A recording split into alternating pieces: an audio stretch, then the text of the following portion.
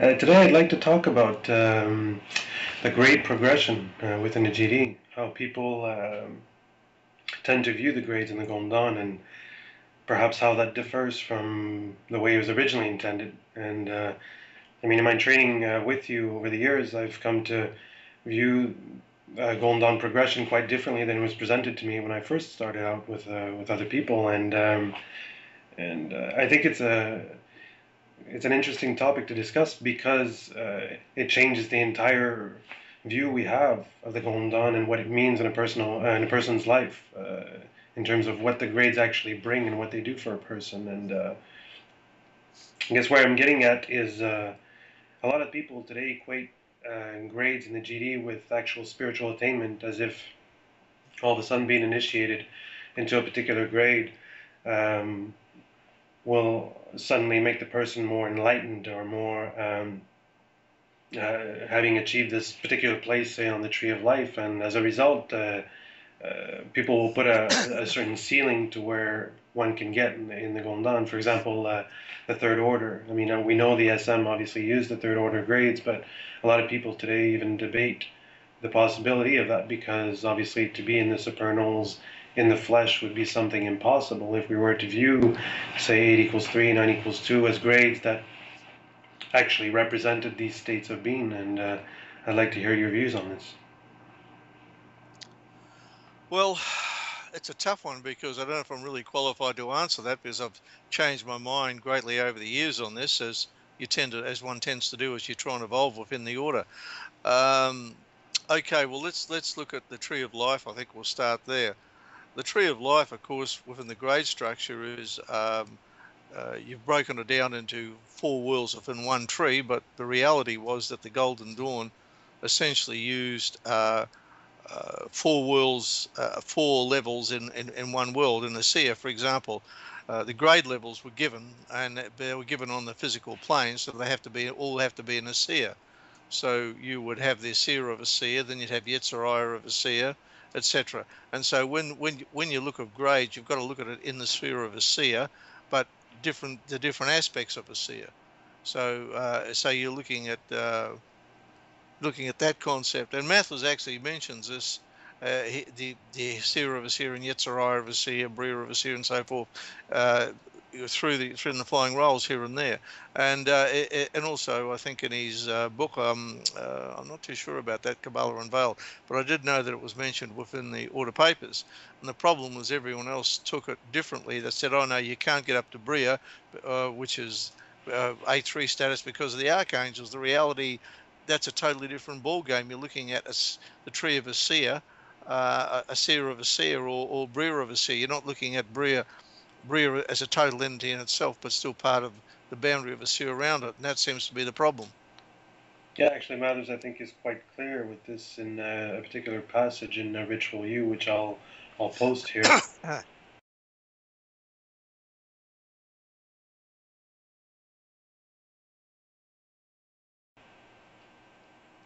well, in this particular passage, obviously, Mathers shows that. Uh, the whole that a man can actually attain in the flesh is is always going to be within the bounds of the Asiya tree, uh, because he does obviously address the fact that once you reach, say, full communion or union with the higher self, what he calls the Kether of Asiya, uh, then you would enter or uh, have a point of contact with the higher genius in the in the world of Yetzirah and the angels, and obviously that would uh, that would be probably the end of one's life and beyond. So it's uh, it's quite clear in like in Ritual U in that passage I just showed that uh, Mathers intended for the whole of the progression of a Golden magician to be within the Asiya tree.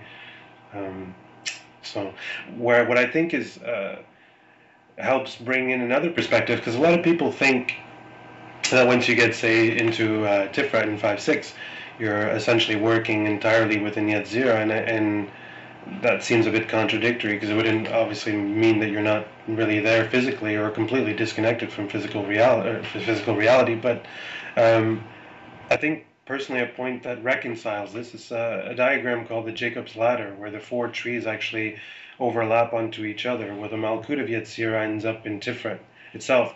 And it would also explain perhaps the reason for the subgrades in 5-6, because you'd end up with the Malkuth of Yetzirah at that point. I think it can bring something interesting to look at it in that sense because you still end up working through the Asiya tree. However, the Yetzirah aspects uh, that you start working with would start with 5, 6, and beyond, um, as shown in the diagram of the Jacob's ladder here.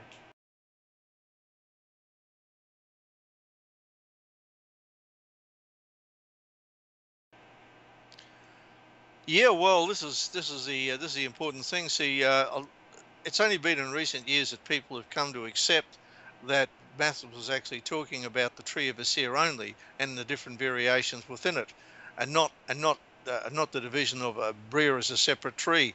Uh, so I think uh, Wang's book. Uh, uh, on the on the tarot, he did a drawing there, which wasn't a bad one. I've seen some other versions, but that that's not a bad one in breaking it up and showing you at a moment's notice. And the problem you've got is that a lot of people don't really accept it, and some do, some don't. So you have different value systems between people, saying you could never go beyond the, um, the seven four. It's impossible because their value system has them. Uh, they're looking at the uh, Yetzirah as a separate tree to to to, uh, to Asiya, and uh, they shouldn't be in Asiya in the first place if they thought like that.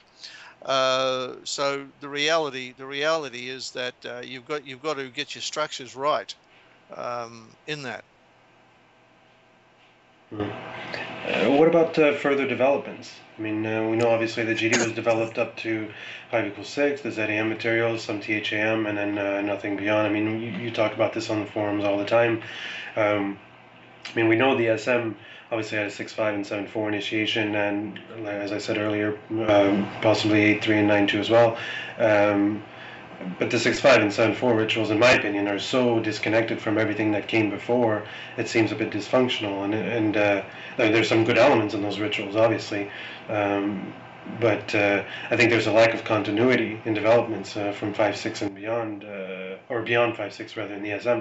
In the AO, I mean, what we've seen of the AO six five it's uh, it's completely lacking in substance and any kind of teachings or any kind of again continuity in terms of uh, introducing different concepts and ideas as the other rituals did before that. So, uh, what is the solution in your opinion for six five and beyond for the orders out there and including the work we're doing? Oh, that's a big one. Uh, look, the bottom line out of this is the value system of uh, the ritual itself and what's in the what's in the ritual, and people seem to have a different value system they place on it. Uh, I I would think that to, to to look at this in its entirety, you can look at it in a blockwise. I would suggest you look at how you view the actual ritual itself and and how you look at the value systems within the ritual.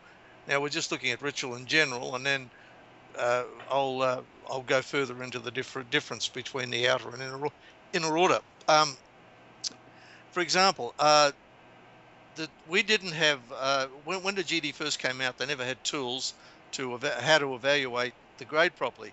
Uh, you see what Mathers did in the Z uh, in the Z1 and the Z3, which wasn't bad, but it's nothing compared to what we can do today with the tools uh, that we have at our disposal uh, to to break ritual down. And when you one of the things is one of the schools, and this is just a school, it's not the school, is transpersonal um, psychology, which is uh, uh, the psychology beyond the ego, looking at the, the pure essence of something, trying to get a hold of it, uh, to try and figure out what the hell's going on. Uh, it's it's beyond the stage of uh, non-ordered consciousness, and uh, they have different levels within that. They have multi-states, which is the non the, the unconscious to a certain extent, and you have the uni states, which is the reality you deal with. So you have those two elements. Essentially, it comes down to the conscious and the unconscious, if you want to put a glib term on it. And when you get into these areas like uh, transpersonal astrology, you can actually start breaking some aspects of the ritual down within that confines. Uh, the problem, the problem you've got is what you're left with is a series of wheels within wheels. The boundaries of uh, one ritual and another are often blurred and uh, you have to understand that the boundary between one ritual and another is often a benchmark.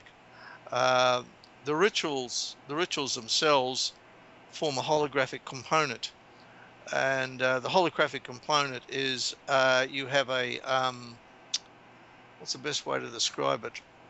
You have an unfolding process where you try and put together the unconscious and the conscious together if you if you look at a holographic area, uh, you're looking at uh, it, there's about three three fundamental phases to it. Now I'm not a physicist; I can't tell you the maths of it.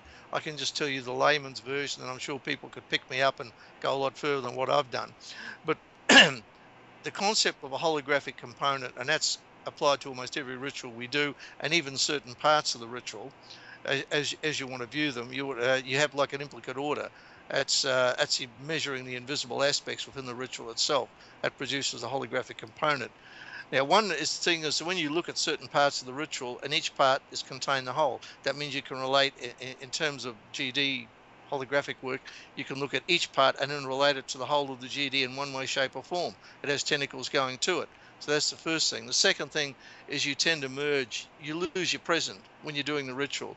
Past, present, and future start to merge within the ritual as far as it actually goes. And I think that the um, below that is a matrix of the actual ritual. In the outer order, for example, is the elemental aspect, which we'll get into in a minute. So when you've got all these things going on, these are all tools that you can use to break it down.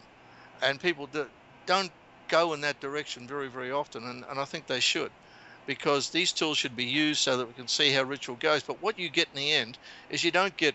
Uh, oh, okay. Let's let's let's look at something. We'll look at the titles of the actual, say, the outer order. You've got these rituals titles like Zelator, uh, Theoricus, etc. Now that came from a period prior to the Golden Dawn.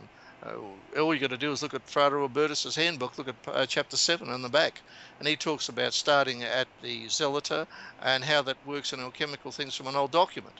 Uh, whether or not that's part of some obscure Rosicrucian order, I don't know. I'm not, my expertise is not in that area to tell you. Yeah, but it also yeah. Okay. Well, what happens then is that these names that you put in the Golden Dawn have very, very little to do with anything. Uh, so uh, it, it's just a name. At Whare Ra, they never called something by the elemental grade of earth, air, fire, and water. They called it by its proper name, the Zelator, etc. They didn't, they didn't bother with that, or sometimes they might relate to the uh, 110. But generally, it was in, within that confine. So they looked at the ritual as an entirety and not the elemental status that today some people view the ritual as.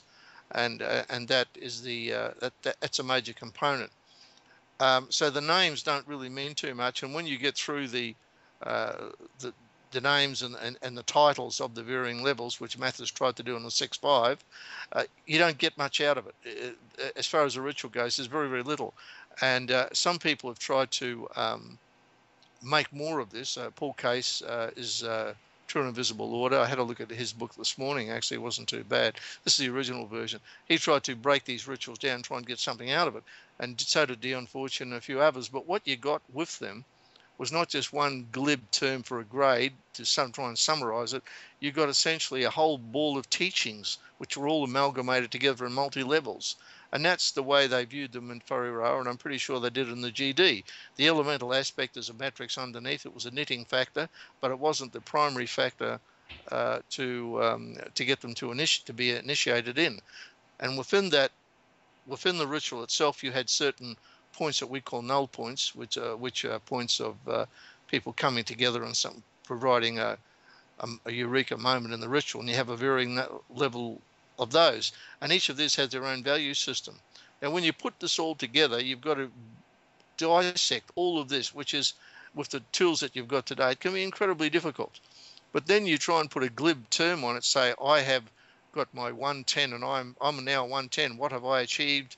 uh, and, and, the first thing they do is spout off the um, the title and try and relate it to, to something, achieving something, and, and it doesn't relate at all.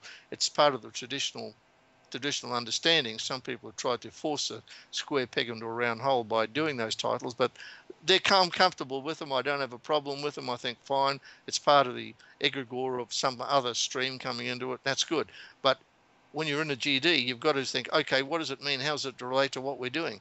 and as a result of that, you don't get it from the titles. And so you've got a different entity in itself because the GD is separate. Um, it's like taking the GD and taking it back to the original chemical order and saying, right, you do all this stuff. Let's scratch our head and say, what the hell are we doing? Yeah, back in the Golden Rosenkreuz, I mean, these titles were specifically applied to the varying degrees. And Theoricus, uh, for example, they received a lot of the theory for uh, laboratory work and things like that, and they would get all the practical application in practicus and so on and so forth. So these names actually did have a full relevance back then, but yes, definitely in GD it's uh, not as pertinent. Um, I think that, I mean, uh, what I was uh, addressing at the beginning of this conversation uh, regarding what people make of the GD grades is a it's a big thing, especially in in considering the, like further developments in six five seven four and beyond. Because if people uh, don't understand uh, what a GD grade is supposed to uh, accomplish, or say even how the ritual is supposed to work hand in hand with that, it's going to be very difficult to develop higher levels and keep uh, a similar pattern going. Because I mean, in the end, a GD grade is, is meant to do what? To introduce us to a variety of concepts, ideas, uh, uh, forces, and forms in the universe uh, through, uh, obviously, through an initiation and then presented in the form of teachings. And those are opportunities for the person to investigate uh, the universe within and without. But to say that by the time a person, say, leaves Zelator, they would have mastered the element of earth or something like that is a bit, is a bit of an illusion. Uh, in the end, the whole progression is really more about the process than uh, than a very specific end result expected at each level. Um, and, and, obviously, we know that the grades obviously are, are, are, done on the on the tree of life. So to investigate every sephira would uh, would be the logical thing to do. I mean, once we reach say seven four Adeptus Exemptus, there are still things and concepts that the tree of life describes in life and in the, in the world around us to explore with, say, Binah and Chokmah and things like that. Um, well, you're right. Um, it's it can be it can be a it can be a very very confusing situation, you know, and how you want to break all these things down, just just one way or another. But I think I think what you've got to do is you've got to you've got to look at the GD grades in different levels. You just can't look at it as one as a one-stop shop. Uh, you've got to look at the anthropological part. So that means you have a rite of passage. You've achieved that within the order. That's the first thing. And that's the that's anthro coming through. And a rite of passage means that you have achieved a certain level. You've gone from one to the next, and that's very very important from a psych- psychological viewpoint. Uh, what you've achieved magically within your psyche is very very different levels. You could bring my book in on alchemy and look at what's achieved in the in the Zelator in that particular book and how it's worked. That's just one area. So you start to see things knitting on that level. But the reality is you've got a whole bunch of conjunctions within the ritual itself and so that you're you've worked incrementally. So each ritual is a series of incremental steps, and within these steps there are other incremental steps, like tree within a tree, and you go up those incremental steps. So it's not the one thing that does it; it's a multitude of things that come together to try and give you some sort of a value system. When you finish, when you finish one aspect of the ritual and you go on to the next, you've done the basic anthropology, beginning, middle, and end. You've gone into something uh, you've had the initiation, you've you've achieved what you want to achieve, and you're going out of it. And you when you work those principles in with the um, in with the ritual itself, it, it, it falls in fairly well. But the golden dawn is supposed to make us more aware. That's the first thing. That's why we do the rituals in the first place. And making us more aware depends on our value system within it. Uh, if I was put side by side with different people, we'd all we'd all see different things, and that's not that doesn't mean we're right or wrong. It's the way we're initially made. And what will happen is that our value system will adjust to what we perceive in our psyche to a certain extent. Because the rituals are a holographic component, as I spoke to you earlier, they have a life within their own, they have a polarity within their own. And when you go through the stops and prompts, the polarity is, is work within the holographic component to make to make it more uh, to make it more usual. Uh, uh, Francis King once said that the GD rituals were a mass attack on the psyche, and it's not really a bad way of looking at it. Uh, it's probably an oversimplification, certainly, but it it really it really gets gets the heart of the matter and, describing it. And because you you've got all these verbal cues and you've got these uh, visual cues in the ritual itself on how this on how the thing should work, and uh, all see for example you could take things from the 110 and you could take things from the 47 and interact with them and one is not higher than the other. That's the mistake people make. As you get up, you get more. It becomes a little bit more uh, complex in the sense of that the um, that the, the things that you look at or shown are more complex. They're more complex only from the point of view of the tree, where you have additional aspects in the tree, but they're not more complex uh, complex when you look at the value system of each one. There, there is stuff in the 4-7 that could be equally valid to something in uh, in the 110. But the trouble is they're put in an area collectively grouped so it will form a holographic component to make it work best for you. And so that whole value system is increased by having all of these things together, which will differ from the one you went through. So you've got two holographic components, and only when you start going through these particular levels and you start putting all these little holographic universes together that you understand you start to understand the principle they're there for a reason they're there uh, for incremental steps so that you can work your way through looking at the stops and prompts and what they actually mean. But to try and put a handle on these particular grades, I found is bloody nigh impossible in some areas. You can get a rough idea, you can call it at a grade, you can give it a uh, thing. Just look at Mathers' 6.5, for example, when he tried to uh, explain some of these particular levers, he fell down. He really fell down. He was there with his bare ass hanging out. You know, this is this is the way um, he, he failed in that area. There's no question of that. And when you look at the people trying to explain what these particular grades are, you look at the neophyte, which is incredibly, incredibly complex, more so than the other rituals. But that doesn't make them, that doesn't make the other rituals any any less lower or higher than, than the other. It's just the way you, it's just the steps you go through. and then you look at the THAM. Well, the THAM one, uh, his analysis of the THAM one was terrible. It was only a summary. It was nothing like he did in the. Uh, Is it analysis of the of the Zelator ritual you're talking about? Yeah, yeah. The yeah. So it, it's uh, it was only a summary. It got nowhere near the heart of the matter.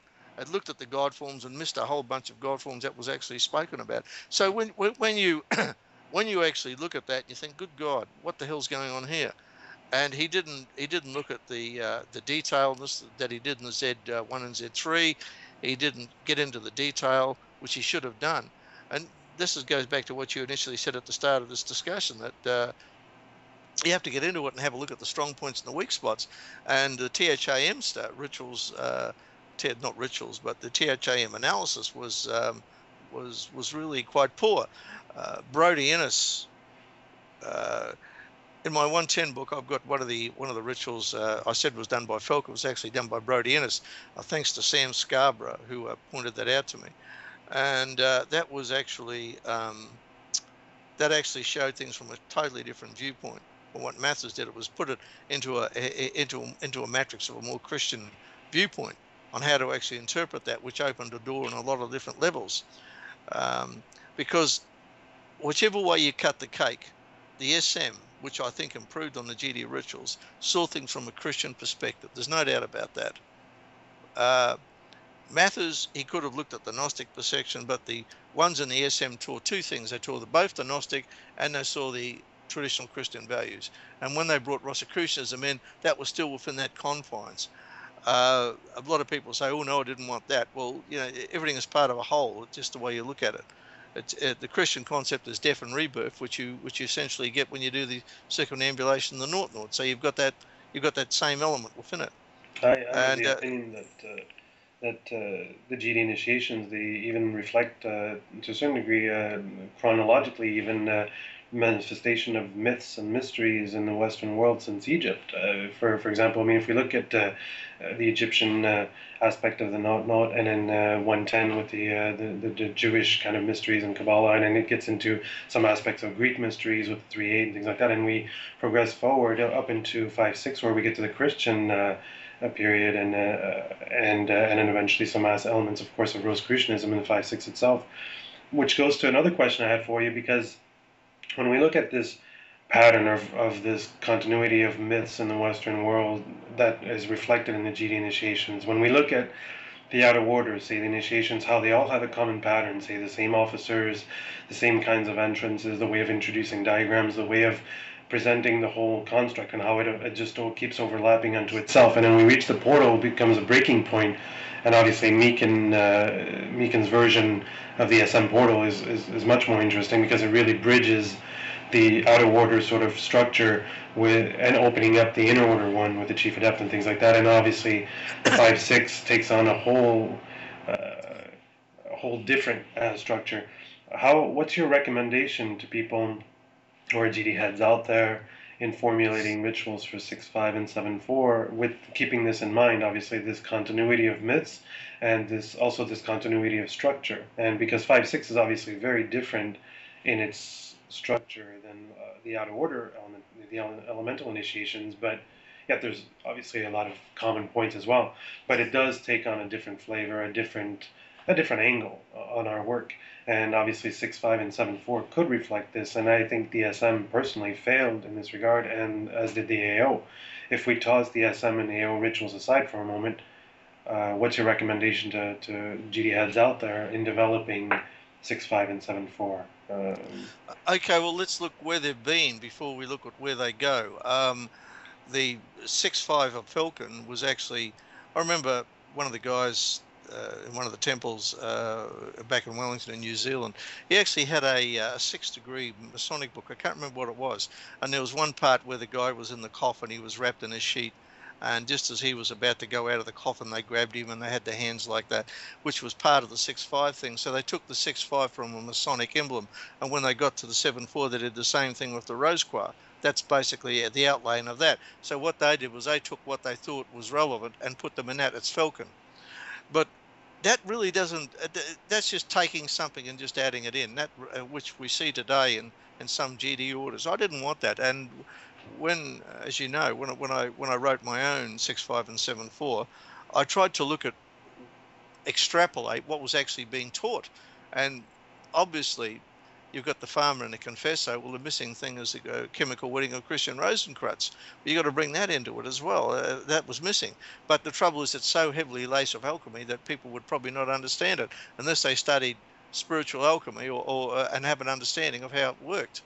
And that's uh, one of the things that uh, I thought was necessary because the alchemy, when Meakin spread it out uh, in the portal, is, is very, very interesting because the first part of the portal the first uh, first lot represents the north north, and the second part represents all the elemental grades separately as you go to each component part as you go around it, and you bring in the alchemical grade. Uh, the alchemical book will tell you how it's done, uh, you know, uh, and those elements, and. So there, uh, so the portal was an encapsulation of the of the uh, neophyte ceremony and uh, the four other rituals in the second part, and that's why they called it the the rose cross. Just led into that, and so there was a break up there, and, and the next thing was a breakthrough. And uh, when I used the alchemy, I used it. Okay, you've got all of this is in Malkuth. All the four rituals are in Malkuth. When you break away to go to the next level, you go from the blackening stage to the whitening phase. So you go into the five six as part of the uh, still part of the blackening, but the purified part, and then you get to the it's a bridging point till you get where you transfer to the whitening part within the five six. And the the whole uh, the whole part of the five six then is all the whitening, and you go to the seven four, or that's the six five, and then you go from the whitening to the yellowing, and when you go to the seven four, you go to the yellowing to the reddening, and then when you go to the baby the abyss, you restart again for, for a, a higher aspect of the blackening phase. And that's looking at it from an alchemical viewpoint, very glib, I know, but that, that's just a quick summarization of how of how you could look at that.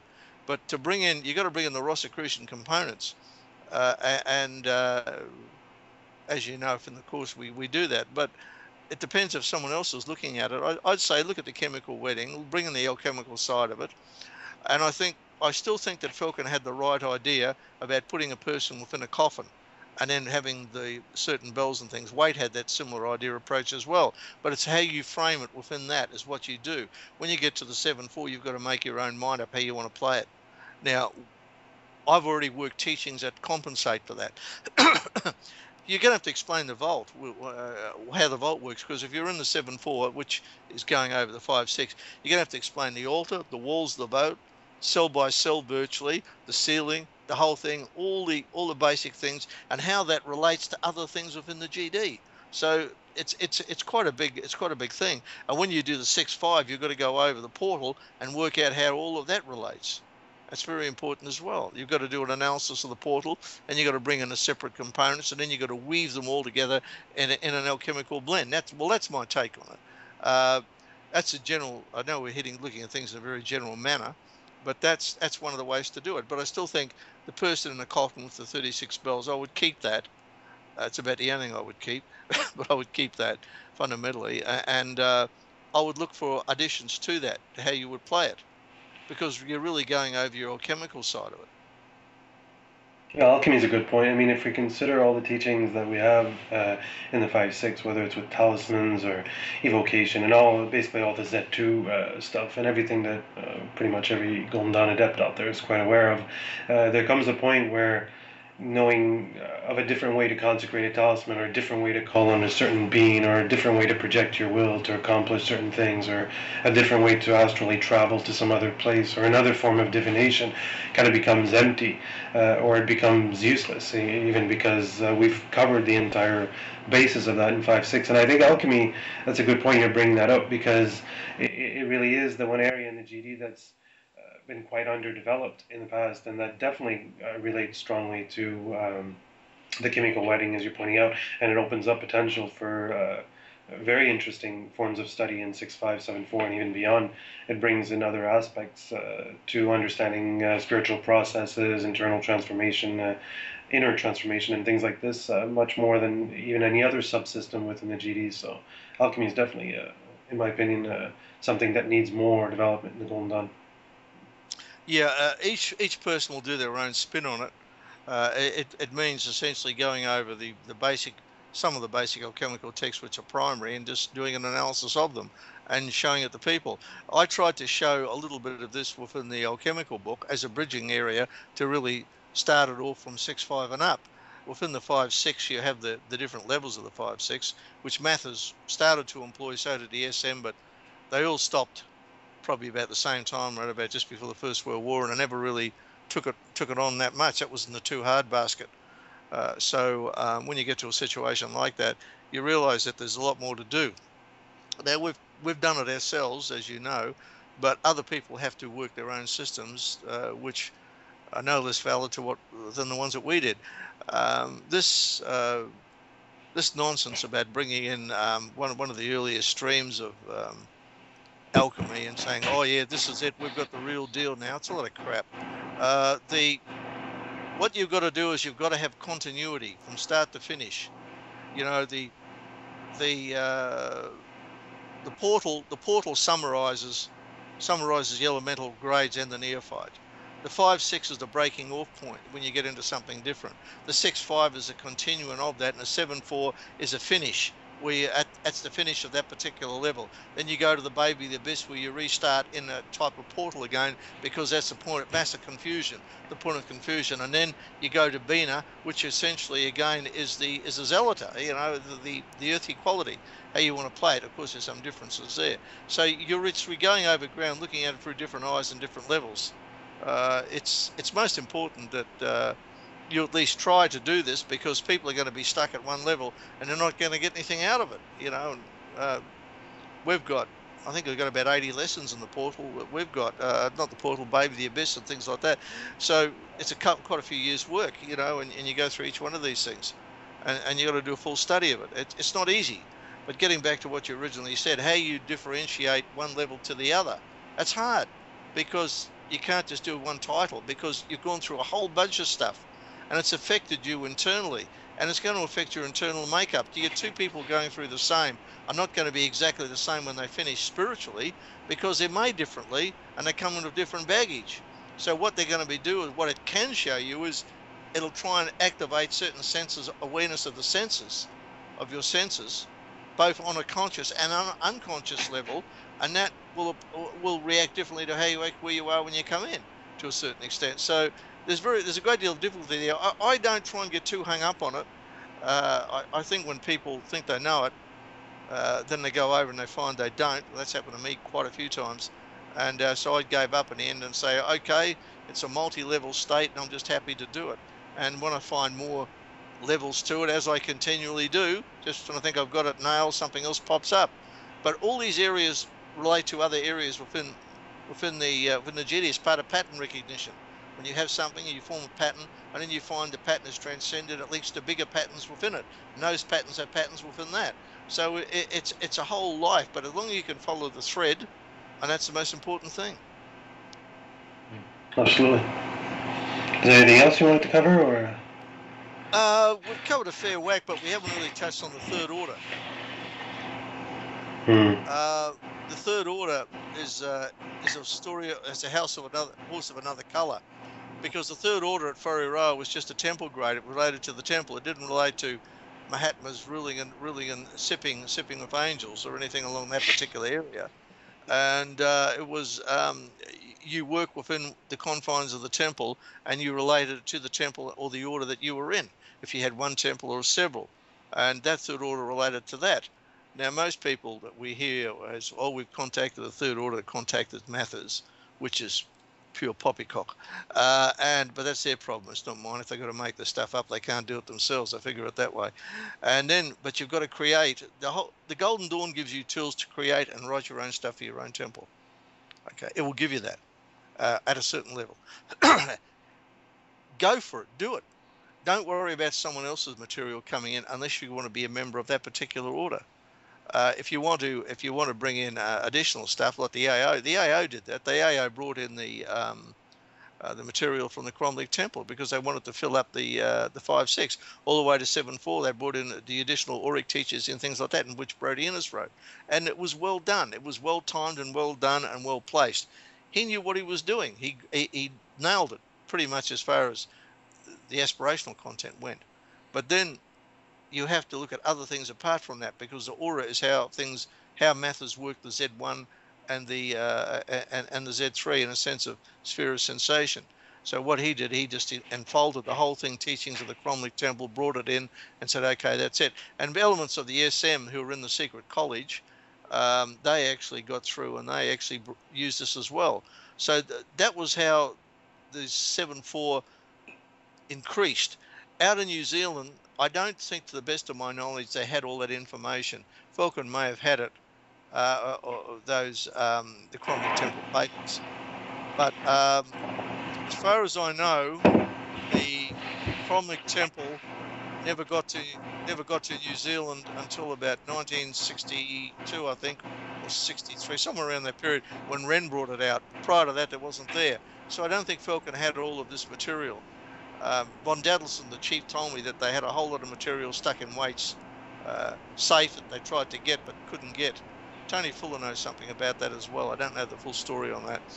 Uh, uh, I think though that the third order is a misnomer. Third order should be temple grades, temple orders, and I've had a I've had a chat to people within third orders who are higher up. Like you know, like Frank was higher than seven four, and he he spoke about certain aspects of it. I spoke to uh, Bethany, uh, Bethany Jones about that. She actually spoke to, uh, spoke to me about, in general, she didn't give me a specific, but she gave me enough information to tell me that it was a, it was a temple grade and not, not necessarily a grade for the order itself. So all these things were just sort of passed on. The problem they had was there was very, very little teaching as far as what we used to the teaching was in the ritual and it had to come from within you and you had to bring it out of yourself. That's where the emphasis was. Where today we're used to having things handed to us and we have to work through that particular level. Uh, just gives us a bit more to go on. I mean, it's no secret, obviously, that at those levels we want to move away from really elaborate ceremonies or really elaborate, uh, you know, tool making and things like that. I mean, obviously, oh. higher up we get obviously more mystical, simpler, less officers, uh, go go more to the core of the matter itself, as opposed to a lot of the fluff that we're used to in the earlier levels. Well, that's dead right. Uh, you brought up a very good point here.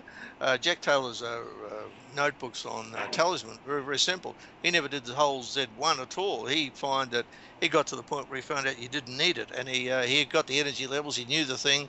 He knew how to divert the energy, and that's what happens when you're in ritual. You're exposed to energy around you and you have to recognize that energy and you do it through moving and walking that's where your senses take over to a certain extent but what actually happened when you got to the higher levels at Whare Ra uh, probably a bit, bit, further on, say about 6574, a lot of them went basic. They went right back to doing things and they went through a form of reductionism and they didn't do the full long winded stuff that you would do in the, in the 6 5, uh, 5 6. And the reason you do it in the 5 6 is so you understand the ritual better, so you integrate with the ritual, and so you have a fuller understanding of, of the principles behind it. But when you get up, you start to reduce that level, and you don't use as many tools, and you don't put as much as much trouble on the rituals. And if you go back to the uh, Mathers 6.5, that's what he was doing. It was uh, Tony DeLuca who made uh, uh, made this point, and I think it's a very valid one that uh, Mathers really didn't want to go any further than what he did, so he gave a very condensed version. It was almost done grudgingly uh, of the actual ritual, and that was that was going to be it. That was the full stop. So there was no need to go any further. And for example, but these days it's not the case. We want to go a lot further, and we have to um, we have to look at it from that perspective.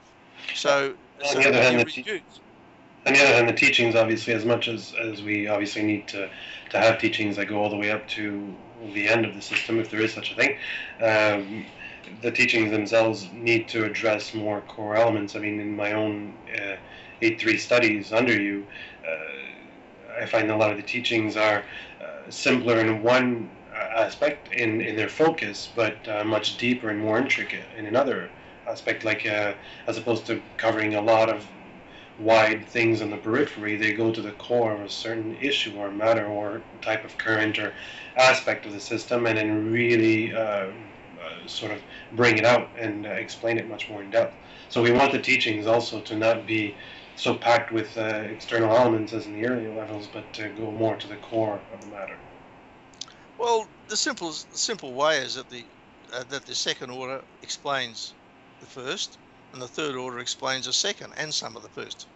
So the third order is explaining the second primarily and the first as well by reducing things to a to a nutshell. But you just can't have this reduced formula and just give it to you and run with it. You've got to start and work your way through and understand why it's reduced, how it's reduced, and have the experience of it. So all of this is part of the process that you have to do.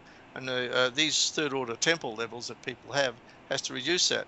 Um, you can't have a third order that doesn't relate to the to the second and third. Say second and first, I should say. It's got to all have to be interconnected. Otherwise, it's a waste of time. Uh, uh, I'll give you one good example. When uh, when the Cromlech Temple was starting, I saw some papers stating that um, this was the higher levels of the teachings, and if you wanted the practical levels, you would go to the you would go to the uh, AO rituals themselves. That's what they said. Uh, so the AO rituals were then considered just the practical levels, and then the higher up levels of the Cromlech were, were, were the Auric papers and things like that. Because you'd been through all the rituals, you'd understand them, but they were two separate areas, and Brodie Innes merged them together, even though. Even though after he merged them together, they were still still two separate areas. The temples were still going strong. So when you look at all all of this, it shows you that you can bring in some elements uh, to do that. But what they did, they tried to merge all of this to try and make it a full 6-5 curriculum. But they brought in some other stuff. Brodie Innes, to the best of my knowledge, I don't know if he did analysis of the uh, other elemental rituals. Sam Scarborough might be able, or Tony Fuller might be able to answer that better than I could. I've, I've seen, I think he did two. I think he did the naught naught. I think the 110. I don't know beyond that point. These two people could probably explain that a hell of a lot better than what I could. And uh, he did that from a religious viewpoint, but his teachings were quite good. But he didn't concentrate. As you see, the 6-5 doesn't really open the door for anything, any elaborate teachings or interconnectedness. It just it tries to explain the, the names, the etymology of the names. When Mathers was stuck on something, this, is, this is a good viewpoint. When he was stuck and he didn't know what to do, he looked at the etymology of something, what the names meant, how this functioned, and he gave a sign. You can see this on the Cherubic papers.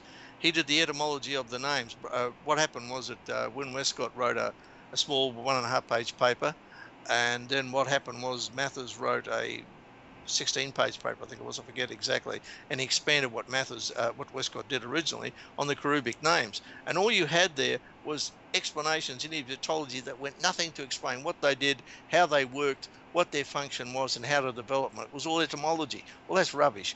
I mean, so it, it's nice to have the etymology base, but then the etymology base doesn't give it to you. And, and if you go back to uh, Carnegie Dickson Jr., who, when he was head of the AO, when he did the um, the names of the actual uh, grades and, and broke some of them down from an etymological viewpoint, which I gave in the ritual commentaries book. That came from a paper which you've got. Um, that was done on etymology as well. So there was a, a, sense of fallback through etymology would give you the answer, and it doesn't. Uh, it, it, it looks as if it will, and it should give you uh, if there's a connection. But if there's no connection and something's brought in ad hoc, it's going to be completely different. Or if you're trying to if you're trying to create a link, it's a, certainly a strained a strained one. Mm. I mean, etymology, obviously, uh, like gematria. I mean, it, it, it brings in interesting little hints here and there, and, and you know perspectives on things, but it doesn't really take anything further. It doesn't really open up new areas. It doesn't uh, do with the teachings what we expect it to do, and uh, obviously. Um, the kind of study and, and, and things we're doing right now with the course uh, take things to another level completely. That's uh, that doesn't compare to those kinds of papers, I think. Well, that was the old way of doing it. The codex and the hidden meanings and things, and gematria was supposed to do that. And I, I've never, I got into it when I first did, as you would do, but you soon leave it behind, and you get into other things. I know Case went bananas in that particular area, but uh, I, I don't. I think it was a poor choice. I think his teachers went array on that particular one. But uh, Case to his credit, he actually did go through the rituals from the up to the five six, from the beginning up to the five six, so he knew what they went. The only problem is that he never really had a chance to uh, to explore the Golden Dawn side. He chopped out a lot of the stuff. You mentioned earlier um, about the how you differentiate the rituals.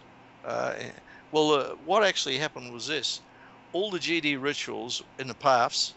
Now, the paths and the Sephirot were separate entities in in in, in, in Hebrew mysticism and it was only brought together uh, uh, probably under the Safed system, as far as I know. We had the Sefer Yetzirah came in with the came in with the palm tree of Deborah, the different paths and things like that, and they molded them together. But they were both separate entities within themselves.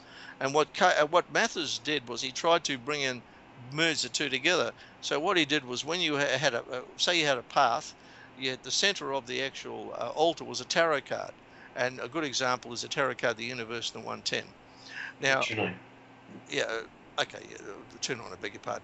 But what actually happened here was that um, in the 110, you had the path leading out of Tau. That was a Tau path which left behind Malkuth.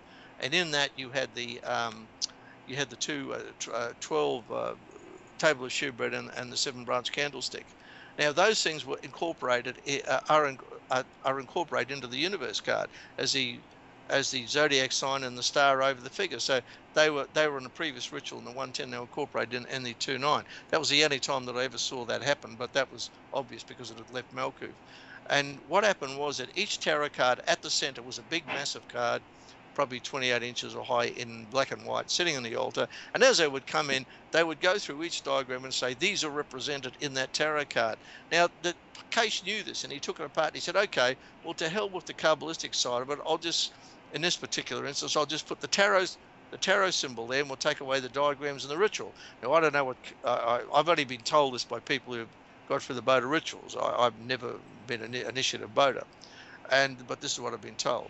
So what actually happened was he said, well, there's no need for these additional diagrams which support the tarot card. We'll just look at the tarot card in its totality. And in ritual, you're limited to what you can do with it. So he built a course up around the initi- initiatory value of it. Now, when you did this for the paths, it makes sense. But these are the active aspects. But when you get to the Sephira, which are passive, you have a new, whole new ball game. You don't have a tarot card in the uh, in that particular area at all. So you have a different area. So you've got one aspect of the ritual that you go through is pass is active, forcing your way into the Sephiroth, which is passive, and there you receive. So one is the push, and the other one is the reception within that, and that goes all the way through the uh, through the GD rituals. And Case got rid of a lot of stuff where I, I in fact thought it was he they put a few veils up to try and under, show the understanding. But if you go and have a look at my inner teachings book, uh, I've I've explained how the teachings of the um, uh, how how the teachings of the diagrams relate back to the tarot card. And I've given the universe card as one good example of how that goes. And then when you get to the two nine itself, you have a look at the diagrams and they're all versions in one way, shape or form of the universe card. You've got the tree of life, he rep- uh, represents the figure. You've got these, you've got the 12 circles around. Then, then you've got the, um, you've got other aspects as well.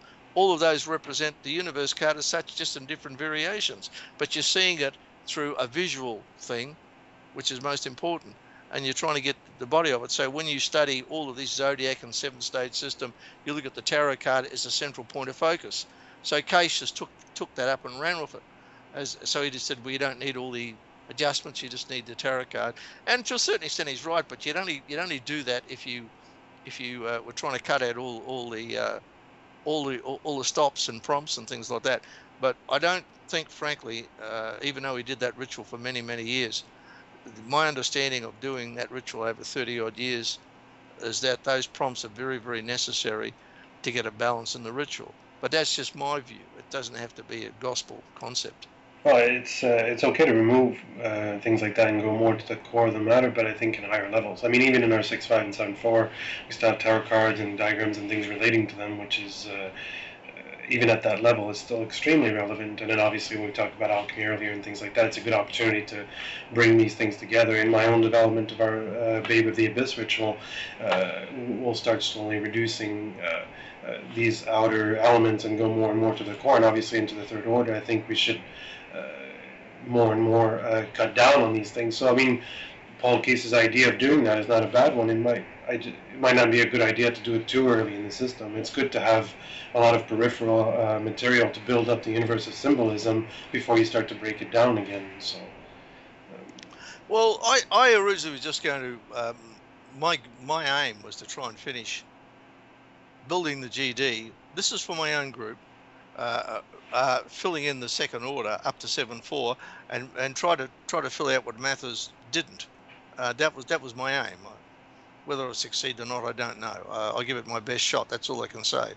And then the way communications are being as they are, the transition into the taking in the higher levels of the SM, uh, like the Babe of the Abyss and the A3 and 9.2, rituals, uh, I, I, think we're a natural transition. I mean, so you can't get away from it. But if you're going to have these things, you've got to make them work. You've got to do something. And so I've I, I got into that as well, which I didn't originally intend. And uh, I found out I was able to extrapolate what I got in the second order and put it in the third order, and the third order being just the temple order as such, and uh, to get more out of it because I could go back in to the 110 and the and, and the 5 6, uh, the uh, inner order, uh, second order, and explain things at a far more far more better level. Because what I've done is I've had to regurgitate everything when I did the course, which has taken me. I think we started in 2003, and uh, we completed one aspect of it. Oh, it says it's about what about about 10 years, and uh, and that's going week after week. Uh, and uh, that's how you got to do it. But in a temple, you don't go week after week. You might go months, might get a month, or they give you a couple of diagrams, and you come back and you go through it. But uh, when you do when you do the course that we're doing, it's it's consistent all the time. You're at it non-stop, and that's the only way to to go. And for over a ten-year period, that's a hell of a lot of bloody work. And even then, there's more to come. I, I, have just stopped at a certain point. I'm going back over it and see what I can add to it at a later stage.